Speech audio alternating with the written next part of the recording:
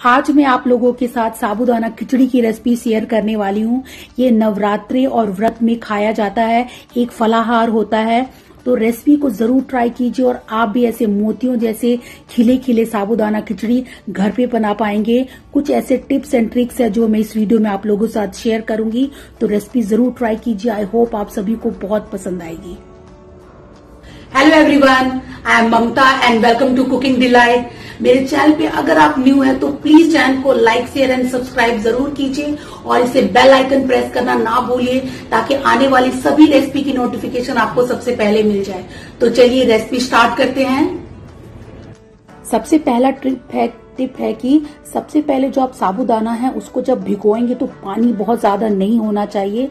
इतना ही हम इसमें पानी डालेंगे ताकि वो हल्का सा डूब जाए। बहुत ज़्यादा पानी लेने पर ये गीले गीले हो जाते हैं और स्टिकी हो जाते हैं, ये देखिए। तो मैंने थोड़ा सा ही पानी इसमें थोड़ा ज़्यादा हल्का सा बस ये डूब जाए, इतना ही पानी लिया है। और दो तीन घंटे एक सोख करने के बाद ये देखिए, सारा पानी सूख चुका और एकदम अलग अलग हमारे साबुदाना है। आइए अब इसकी टेम्परिंग रेडी करते हैं। तो यहाँ मैंने पीनट ऑयल लिया है टू टेबल स्पून ये, क्योंकि मैं ये व्रत के लिए, नवरात्रों के लिए बना रहे हैं। आप घी में भी बना सकते हैं। उसमें जीरा डालेंगे हाफ़ टेबल स्पून और उसमें स्लिट किया हुआ ग्रीन चिली और हम करी पत्ता डालेंगे। बस इसको हल्का सा ही बहुत सारा हमें कलर नहीं चाहिए। हल्का सा ये तड़कने लगे। उसके बाद हम इसमें पोटैटो डालेंगे जो मैंने क्यूब्स में कट करके रखे हैं। ये कच्चे आलू हैं रॉ पोटैटोज हैं उबले हुए नहीं हैं। बस इन्हें हमें हल्का सा इन्हें हमें आ, कुक कर लेना है ताकि ये सॉफ्टन हो जाए। बस मैं इसमें सिर्फ़ सॉल्ट डालूँगी तो यहाँ मैंने सेंधा नमक डाला है। बस इसमें इतने ही आ, आ, मसाले जाएँगे। बस नमक डालने के बाद हम इसे थोड़ा सा ढक करके इसको कुक करेंगे ताकि जो हमारा आलू है, वो कुक हो जाए सॉफ्ट हो जाए। बस ये एक से दो मिनट ही लगता है और ये देखिए हमारे आलू हैं, वो भी पक चुके हैं। ये देखिए, मैं इसको तोड़ के आपको दिखा रही हूँ। बस ये रेडी है। तो इसे, इसके बाद हम इसमें टोमेटोज डालेंगे। तो ये देखिए टोमेटो मैंने हाफ़ टोमेटो को चॉप करके छोटे छोटे टुकड़ों में कट करके इसमें डाल दिया है।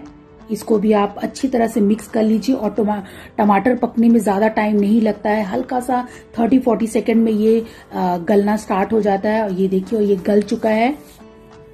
बस आइए अब हम जो, हमने जो सोख करके साबुदाना रखा था, उसको डाल देंगे। ये देखिए, हमारे साबुदाना अभी से एकदम अलग अलग लग रहे हैं छिपके हुए नहीं है तो एकदम स्टिकी नहीं होंगे जो आपके साबुदाना एकदम खिले खिले मोतियों जैसे बनेंगे तो इसको ये देखिए, और ये अभी से ही कितने अच्छे से मिक्स हो रहे हैं और कितने अच्छे से अलग हैं, और एकदम स्टिकी नहीं हो रहे हैं पैन के साथ, क्योंकि इसमें थोड़ा भी पानी नहीं है।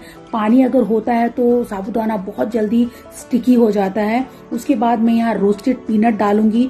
पीनट को रोस्ट करने के बाद हल्का सा मैंने इसको क्रश कर लिया है और उसको इसमें हम मिला देंगे। बस, और उसके थोड़ा सा मिलाने के बाद मैं इसमें कोरिएंडर लीव्स डाल दूँगी। फाइनली कटी हुई। और उसके बाद हम इसमें लेमन जूस डाल देंगे वन टेबल स्पून और इसको आप पहले अच्छी तरह से मिक्स कर लीजिए। ये देखिए, और साबुदाना अभी भी थोड़ा पक चुका है बट इसे अगर आप थोड़ा सा ढक के पकाएँगे तो ये बहुत अच्छे से ट्रांसपेरेंट हो जाता है मीन्स आपका रेडी होने वाला होता है साबुदाना मैं थोड़ा सा इसमें शुगर डालूँगी, ये कम्प्लीटली ऑप्शनल है। अगर किसी को थोड़ा सा भी मीठा पसंद नहीं है तो आप इसको स्किप कर सकते हैं। ये देखिए इसे अच्छे से मिक्स करने के बाद मैं इसे 30 टू 40 सेकंड के लिए कवर कर दूँगी ताकि जो साबुदाना है वो अच्छे से वेपर में भी पक जाए बट ये स्टिकी एकदम नहीं होगा। आपको मैं दिखाती हूँ। ये देखिए और ये अच्छे से आ, मिक्स हो चुका है सारे इंग्रेडिएंट में और बहुत अच्छे से पक चुका है। बस इसे हल्का सा मिक्स करने के बाद मैं फ्लेम को ऑफ़ कर दूँगी। और ये जो हमारा साबुदाना खिचड़ी है, एकदम रेडी है। खाने के लिए ये देखिए, एकदम अलग अलग और खिले खिले हमारी खिचड़ी बनी है साबुदाना की। बस इसको फ्लेम को हम ऑफ़ करेंगे। आइए अब हम इसको सर्व करते हैं। तो ये देखिए, हमारे क्विक हेल्दी और बहुत इजी साबुदाना खिचड़ी बन के रेडी है।